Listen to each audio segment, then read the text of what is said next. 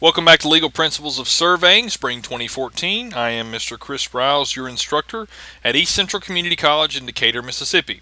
We are coming out of Chapter 4 of Brown's Boundary Control and Legal Principles, and today we're talking about the principles of boundary law.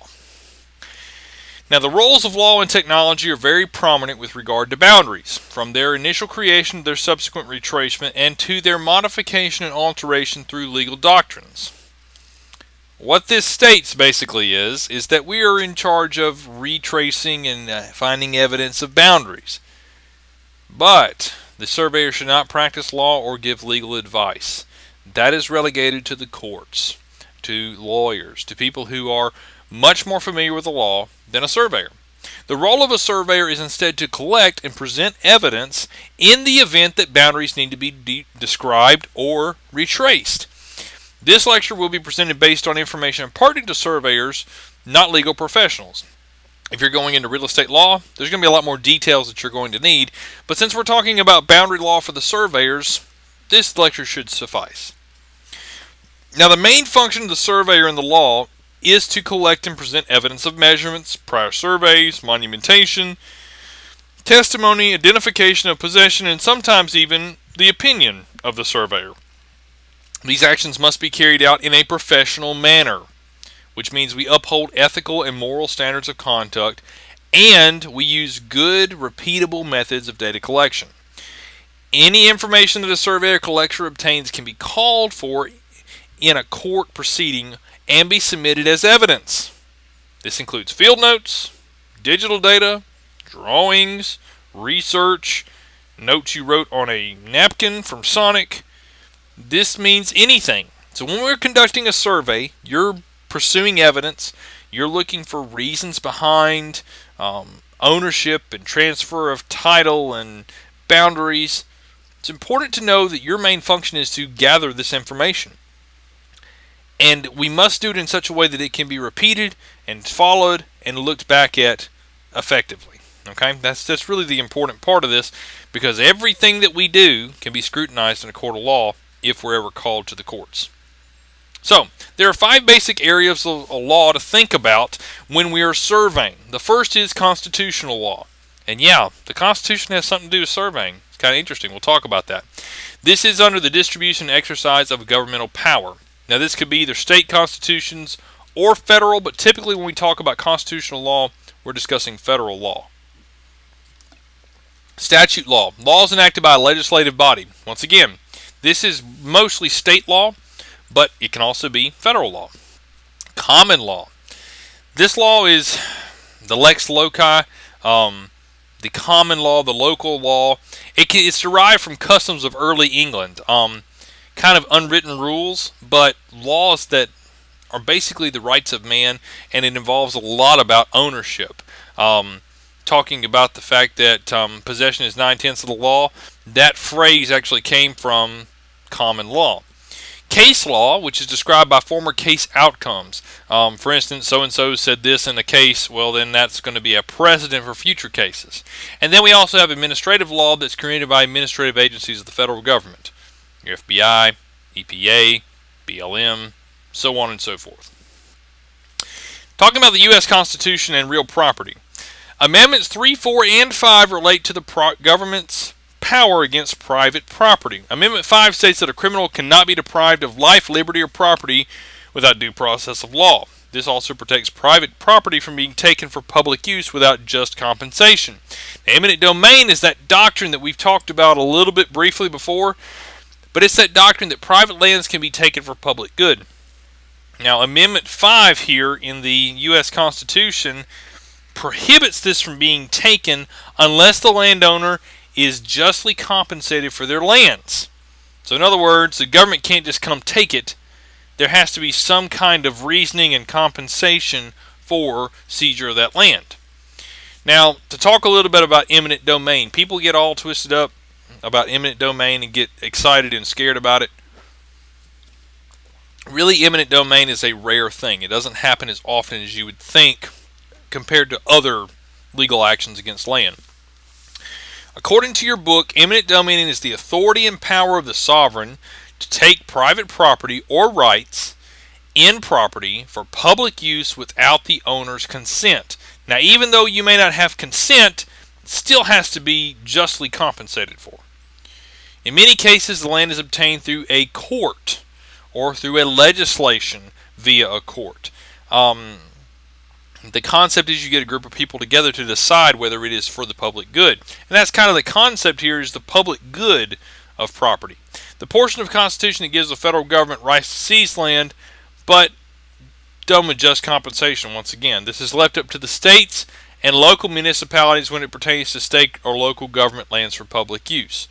So it really depends on where you are, and the laws differ based on municipality, state, county, but also on federal level. So, so depending on the type of land that's being eminently domained and the purpose behind which the land is being eminently domained will depend on where it falls and what kind of law it falls under. Now, we'll briefly show you a little bit about the Mississippi Code with eminent domain. You can look that up yourself. Um, but if you want to look at Mississippi's eminent domain laws, there's a lot of laws with it. That doesn't include all the laws that are local and like if I live in the town of Decatur, Mississippi, there's probably some different eminent domain statutes than there are in other towns. Okay. Now this has caused conflict in the past of many landowners, especially when the interstate highways were being built. Many times interstate highway land was eminently domained so that the interstate highway could be built. Well, people were compensated at the time for the land, but had they known the value of the land as the time went on, uh, they'd have probably wanted more for the land. So eminent domain is still a sore subject for many, many people. Now, the concept of just compensation, it's been held that just compensation is the current fair market value of the land. It, each state has its own determination what fair market value means, but some of the factors could include use, demand for similar property, improvements, or additions to the property. In the state of Mississippi, demand for the similar property is the, the main one. Um, what has the property nearby sold for in the past, and that can give me an idea what the fair market value of the land is. It can also be defined by what price the buyer or grantor is willing to pay at the time of the sale of the property.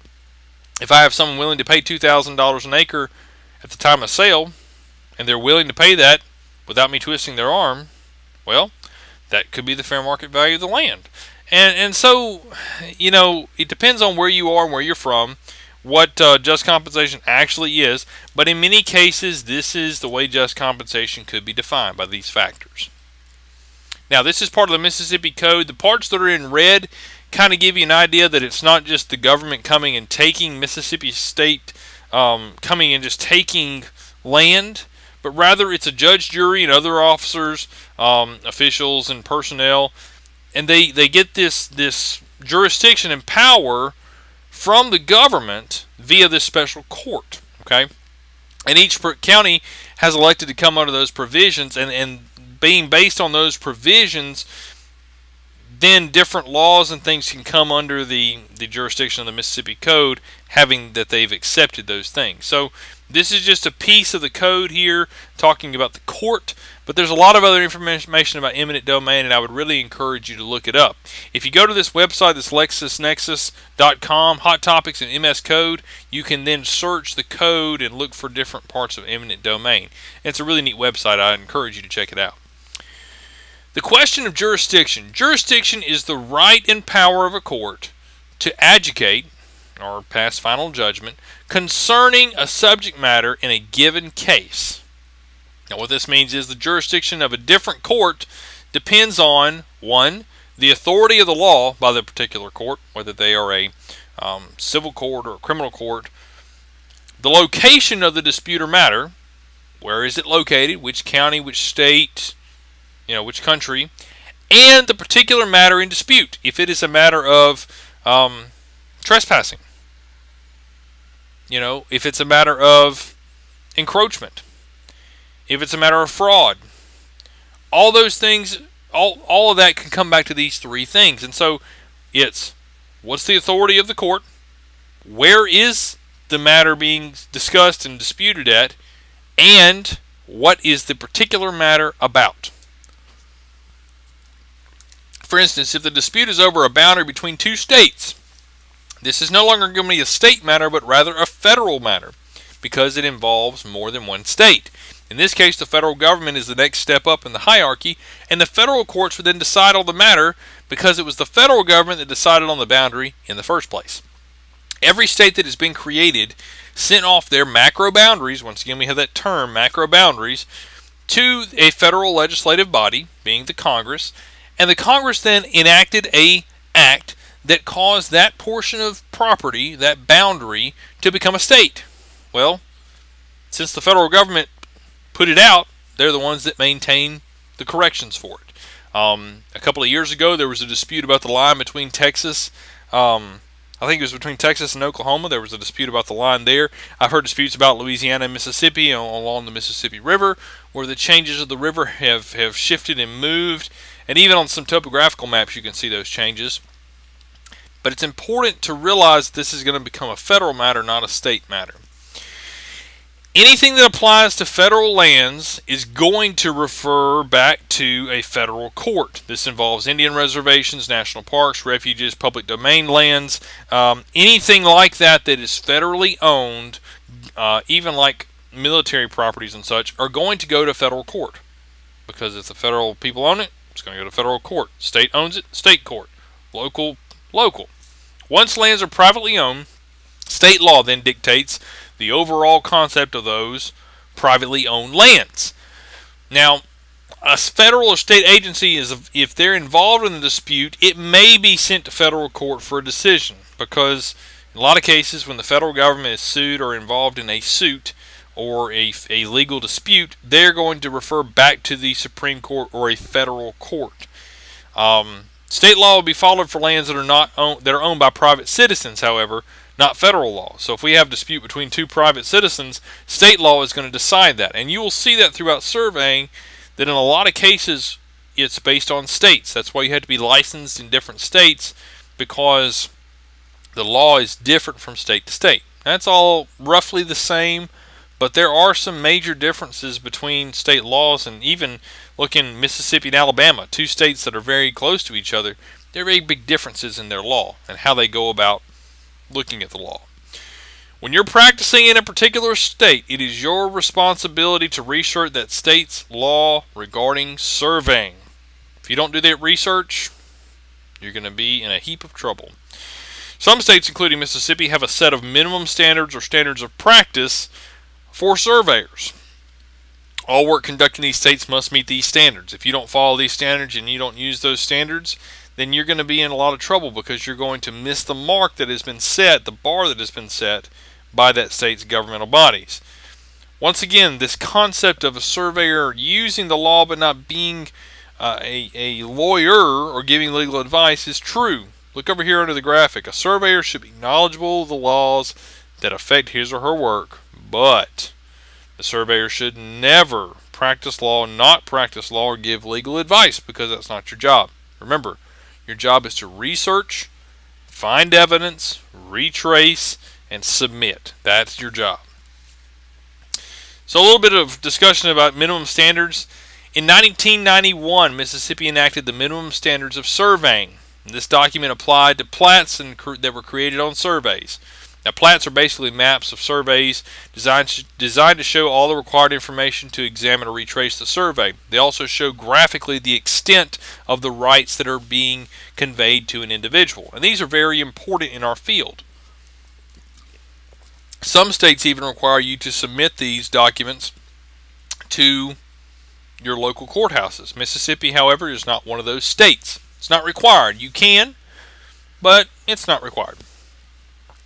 On July 1st, 2005, a new set of standards was created and developed called the Standards of Practice. Now, you may still hear me call it Minimum Standards of Survey because when I learned it was the Mississippi Minimum Standards.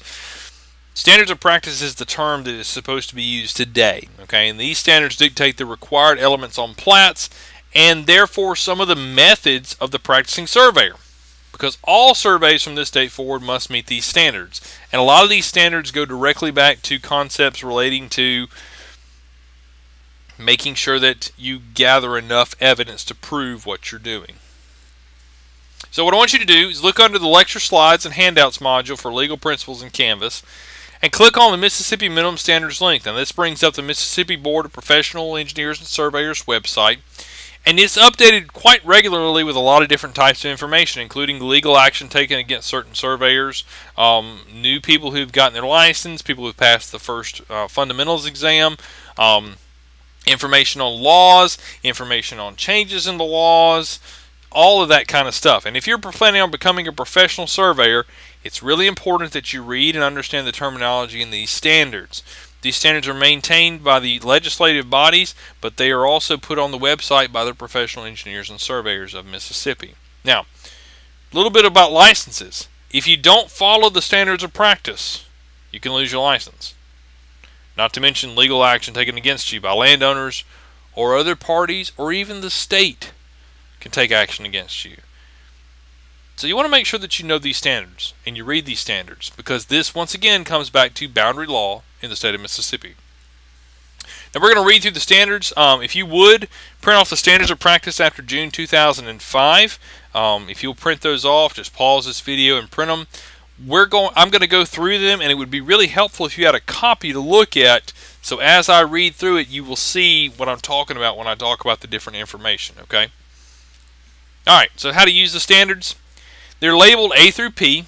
Um, most of the requirements pertain to the amount and format of the data and the information that you put on the plat, but some require to methods of data collection, and that's the ones that are really important when it comes to boundary law. Because remember, in boundary law, what do we do? We're here just to retrace, just to follow, just to look at.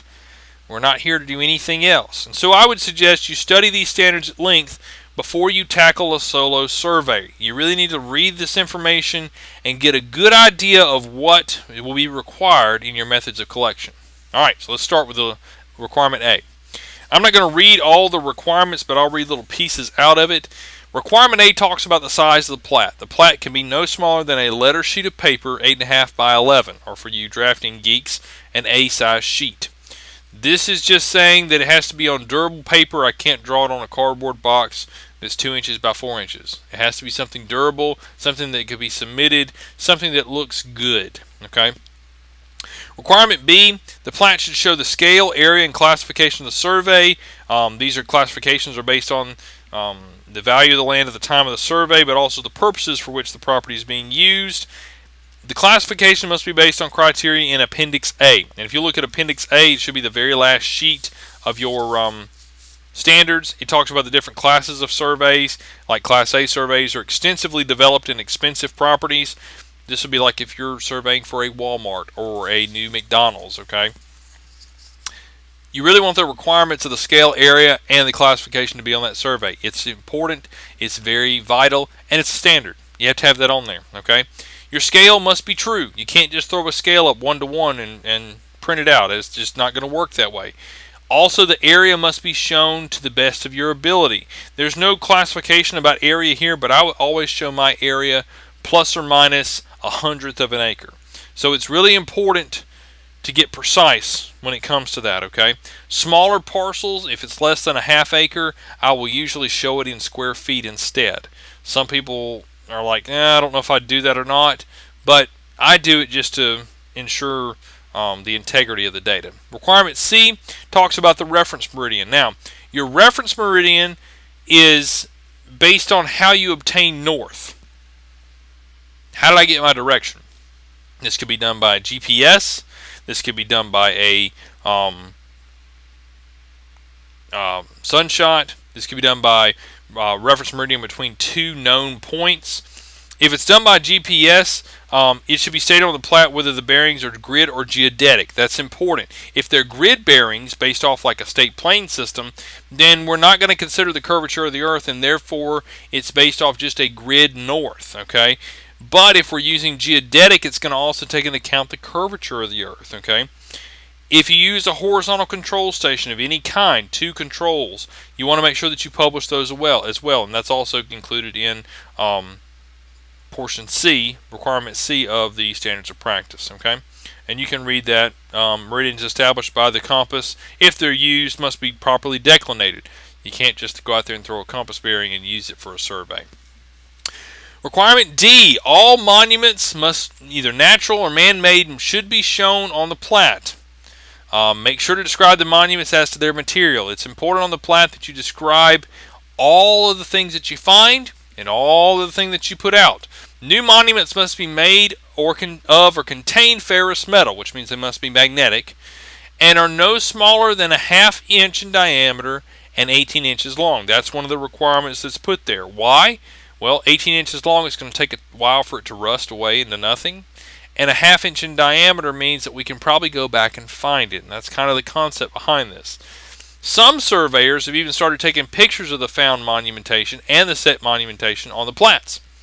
These images can be more easily identified by the retracing surveyors and can be readily shown to the courts. If you have a nice camera that has the ability to take pictures with a certain date on it, and you can take pictures of the work that you do, and then you come back and you say, okay, this is what we did in this date, that's really important and helpful. That could help in a lot of ways.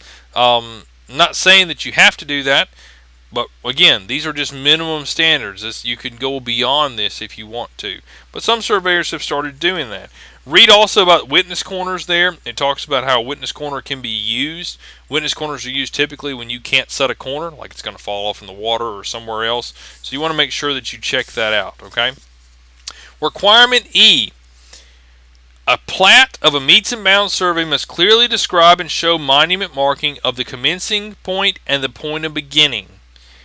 The POC and the POB must be clearly defined and described on the plat. Commencing point is a well-defined monument point reference to the U.S. Public Land System, or the GLO system.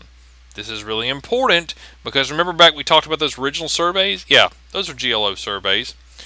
Um, or some other recorded subdivision plat, recorded or monumented city or county plat or map compatible with the Mississippi statutes for filing a recording of land ownership that is used in a metes and bounds description. It's really important to know that. Points of commencement, they got to be government defined. Points of beginning, those can be surveyor defined. I can find anything as my point of beginning. Okay? But you want to clearly describe and show them on the map. All discrepancies between the recorded and collected data should be clearly noted on the plat. It's important that you show record distance and then you show um, your actual distance or collected distance. Record information you might include from previous surveys, deeds, or other information as you come across in the process of gathering evidence. And this record information is very, very important. You want to make sure that you show all that, especially if there's an inconsistency found, and you want to make sure to show that inconsistency and how that inconsistency comes into play with that boundary. Requirement G, there's a description of any physical boundary placed on or along the boundary line. It should be described. Fences, walls, tree lines, um, all different kinds of things, but any kind of evidence, buildings, monumentation, anything along that boundary that you find, you should show it on the map and then describe exactly what it is. Requirement H, horizontal distance and direction of all lines pertaining to the boundary. This involves the legal description. You want to show the distance and direction on every line as specified by the legal description in the survey process. And that's just one of those things that we must do. Requirement I, Four elements of all circular curves should be shown. Radius, arc length, chord bearing, and chord length. Now, those of you that have gotten to advanced surveying, we talk about curves and horizontal curves and all that. Those of you have not, we're going to talk about horizontal curves in the future. Horizontal curves mainly deal with transportation, railroads, highways, roads. And so if you have a road that has a curve on it, you need to show the curve data especially if that road bounds up against the property in which you're surveying, which a lot of times land does. So it's important that you show that curve and the data about that curve so that if the road is ever moved, you'll be able to tell from the plat. Requirement J, this requires all information pertaining to the creation of legal descriptions are clearly shown on the plat. Some of this information could include um, all the information used by the surveyor um, point of beginning, course bearings, distances, all of that information must be shown. The plat should be a graphical representation of the legal description. Legal description's words, plat is a picture, basically. Okay. Requirement K, lot and block or tract numbers of adjoining lots. Now this can be any information about the adjoining land parcels. Um, some surveyors place the names of adjacent landowners on the parcels. It does not require the names, But any designation of lot or block or tract numbers are very important, okay? Uh, requirement L, all visible encroachments must be shown. Now, an encroachment is a situation where a property owner violates the rights of an adjacent property owner by breaking the boundary in some way. This can include a, putting a building over the boundary or attempting to move fences, paths, etc. Anything that you find that is a visible encroachment, something's not right about this. You want to show that on the plat. That's that's just very very important. Requirement M. All public and private right-of-ways or ROWs or easements which are known, recorded, or observed. Okay, so anything that you find that could be a right-of-way. Now this this will involve right-of-ways of streets, right-of-ways of public utilities, right-of-ways of other individuals, easements of use, easements of utilities, any of that, you want to show whether they're known, whether they're recorded in the courthouse, or they're just observed. You see and you go, nah, that looks like somebody's been using that as an easement. It's really important to show that, okay? Requirement N, location of all permanent improvements which are pertinent to the survey with reference to the boundaries. Let's say someone's building a house and the foundation is visible, you can survey the corners of the building with reference to the boundary to ensure that encroachment will not incur. Remember, it's more important to get more information than you need so you don't have to go back later. More information, that is a good thing. Now, you then have to decide what information to put on the plat, but more information is better than not enough. Requirement O talks about the state plane coordinate system. Anytime you use state plane coordinates um, to, decide, to designate the geographic position of a point, you must do it in compliance with the law. Now, there is a, uh, if you look there in, in um, requirement O on your sheet, talks about Senate Bill 2131, approved March 29, 1991, and in compliance of item E of this rule. Okay, state plane coordinates should be clearly referenced to the appropriate horizontal datum on the plat. So these are the things that you should include. The zone designation, which zone are you in? Mississippi, we only have two, east and west. The horizontal and or vertical datum that is used. Which datum did you use? Is it NAD 83, NAD 27? You know, what is it? The method of derivation, how did you come to this point, okay? Did you use GPS or did you use a conventional survey or did you use a monument that was found? How'd you get it? All horizontal and vertical control points used. Anytime you use a control point of any kind, you show it on the map, you give the horizontal and vertical controls. Combined or correctional factor. If you have a correctional factor with this, which is going to really involve your scale factor and a, and a convergence factor, um, you really want to include that on there to show them that you did your research and you know these state plane coordinates come from. And then a convergence angle. Once again, very, very important to show on the plat. Okay. Requirement P which is the last requirement, all your private information, including your name, your address, your date, your field uh, field survey, signature and seal of your your um, surveyorship.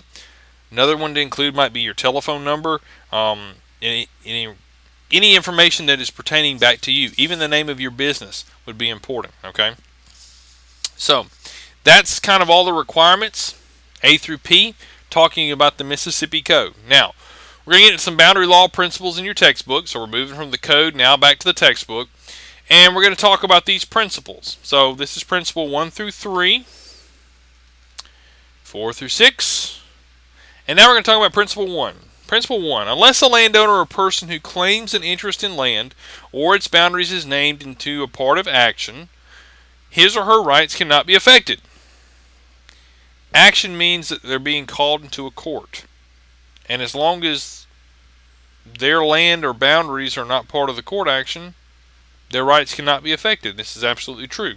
It's important that when we apply, develop a plat, that all parties involved in the boundary are defined.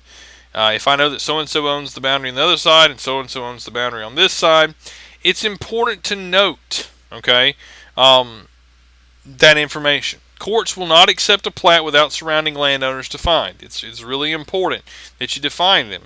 It's a part of the evidence hunting to determine the adjacent landowners and their claim. Now, Also, any boundaries directly or indirectly affecting adjacent landowners should be clearly shown on the plat. Now, in the state of Mississippi, because of the way we are with our plats, it's not a. It's more one of those things that we put on there as a, a, a form of reassurance of the title. But this is not always something that's necessarily law. This is kind of more of a good method to do. It's important that you show those adjoining landowners. Principle two when a surveyor creates boundaries, the law dictates how they'll be created and what elements are controlling in their retracement. Now, this comes back to that standards of practice that we talked about.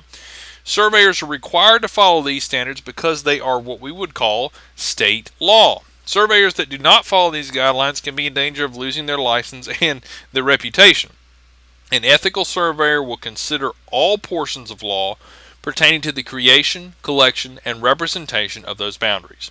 This is one of those ethical things where you want to make sure that you just you do your utmost best to present the evidence in a way that's easily understood by the general public. Now, when we talk about what controls, we talked about controls already in this class. Um, controlling elements are defined boundary parts that make up legally defined boundary lines distance, direction, monumentation, area, calls, and witness posts and trees. Now, in a later chapter, we'll discuss these elements in detail and how they um, are come about and what how they are affected um, in what controls. Okay. Boundary principle three, boundary law principle three, rather. A surveyor's decisions are based on the evidence available or considered at the time the decision is made. If the evidence changes, or if new evidence is discovered or recovered, the surveyor's opinion may change based on this new evidence. Put simply, evidence means everything. A surveyor has the option of changing their opinion based on the newly collected evidence. If something new is found, your opinion may change about the land. Because of the passage of time and or the difficulty in gathering some data, the courts would rather have an opinion change about a boundary than a rule and then rule unfairly against a party. Uh, if you're called into court and you maybe miss something and someone else finds it, you can change your opinion of what happened based on the new evidence that's presented. And that's one of just the law principles that we live by.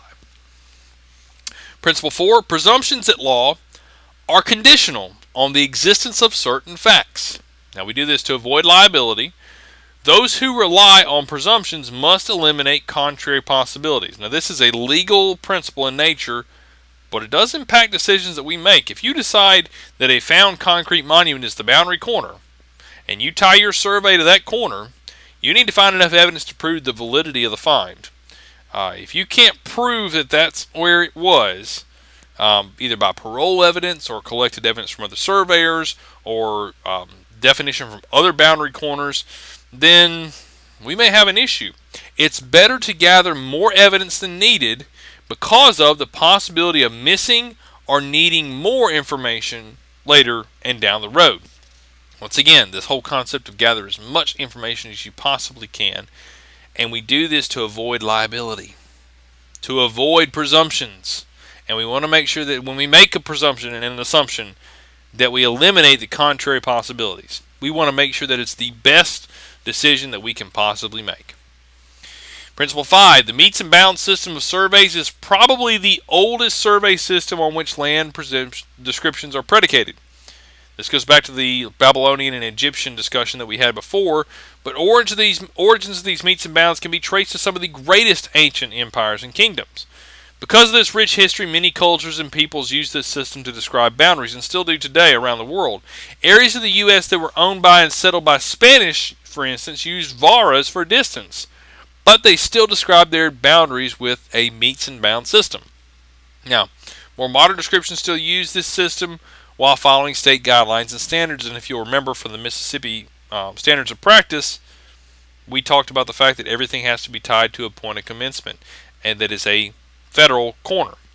So once again, we follow these guidelines, we use metes and bounds, but remember that it's all based off of that point of commencement. Fence, uh, boundary law principle six: the General Land Office, the GLO, the PLS system of um, surveying land is predicated on federal statutes, but it may have its surveying principles found in early English and Roman methods and surveying principles. Now, the PLSS was created federally. We know this. It was created um, 1785 with the Land Ordinance Act. Um, the local surveyor still works for the system, even though it's old, 1785. It's been around a long time. We still work with it because we have to go back to that original survey. That comes back to that concept of of original boundaries and original lines and surveys that were conducted. The law presumes that these surveys are accurate and binding. You can't change them. Other presumptions include accurate notes, plats, measurements, directions and equipment. You know, we, we can talk about all those things, but if you carefully observe how the PLSS was designed and how it was carried out, you will see inherent issues. You, it will reveal those things to you. But these are presumed to be negligible in the rule of law. And this is where it comes to a gray area. As surveyors, we want to do the best job of locating things as we possibly can. But when it comes to original surveys, the law tells us what the truth is rather than math. This is one place where math doesn't necessarily lie, but the law says that it does.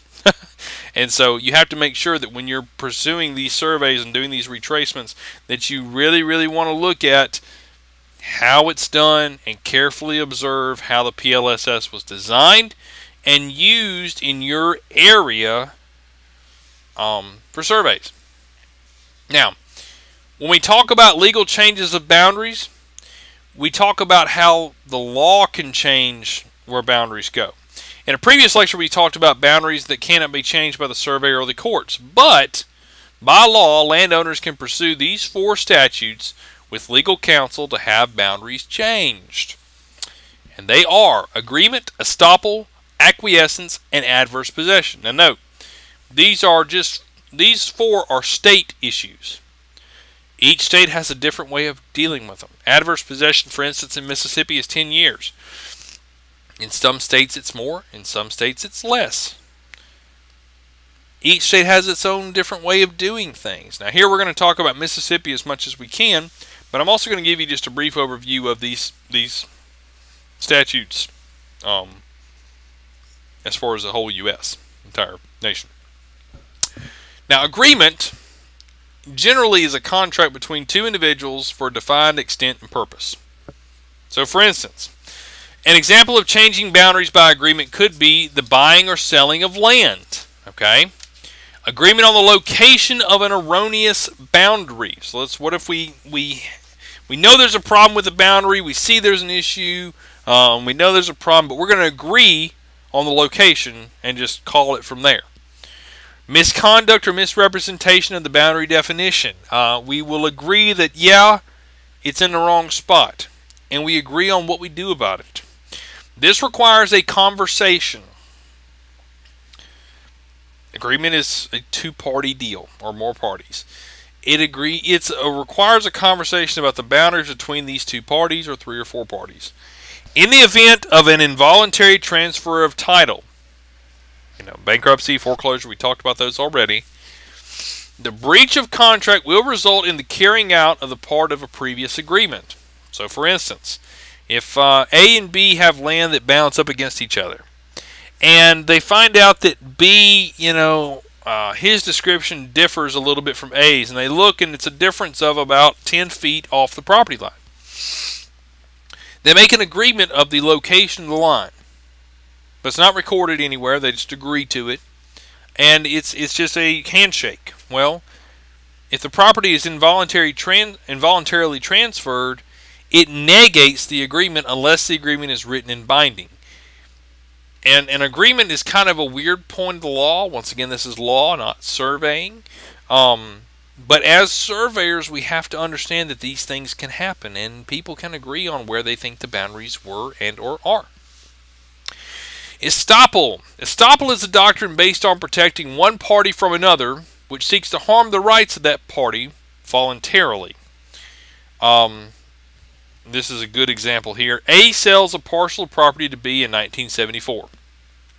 B uses this property based on the boundaries defined in 1974.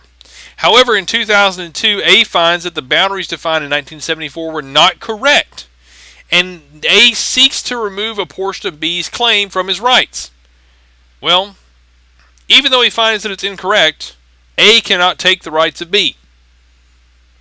Because the doctrine of estoppel protects the rights of B even when the boundary could be wrong. Now, this doctrine is complicated. That's a just a generalized example and very specific to every state. If you look at the state of Mississippi's estoppel rules versus the state of Alabama, they are very different.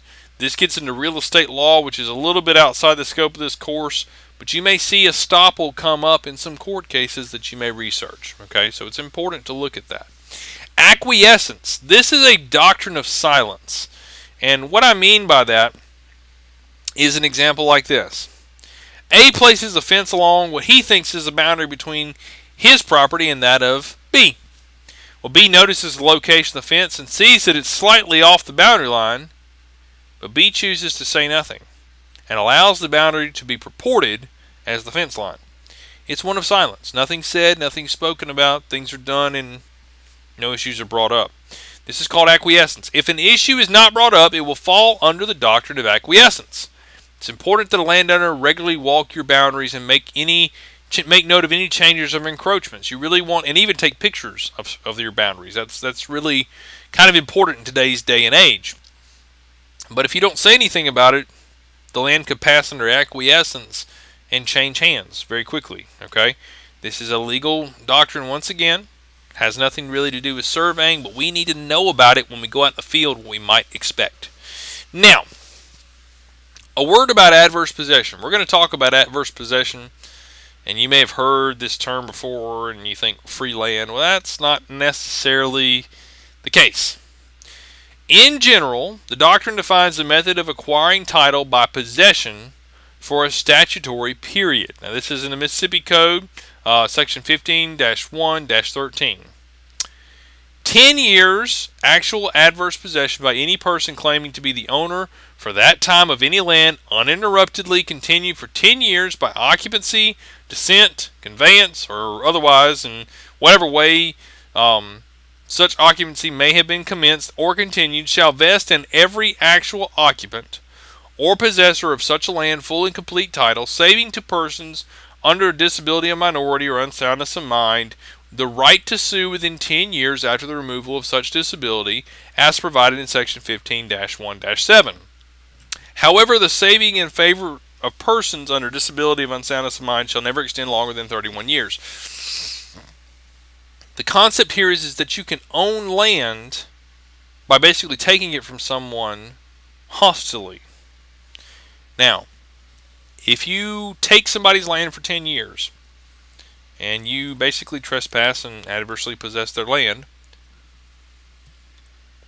and they don't interrupt you, they don't know, um, you can then gain this land by federal statute and state statute. But it's not that easy. There's a lot more to it than that. Adverse possession must follow the guidelines below. You must actually possess the land. Um, you need to be on it. You must constructively possess the land, which means I did something positive to the land. I cut the grass. I I thinned the timber. I did certain things to it. I built a house. You know, I improved the land. You must have continuous possession. You must never be interrupted by anything. Uh, no one can come out and run you off the land, or you leave for a period of time. You must be continuously possessed. You must be hostile or notorious. Uh, notorious is the funny word that makes me giggle. You must be trespassing, basically. Yeah, you don't own it, but you're squatting on it.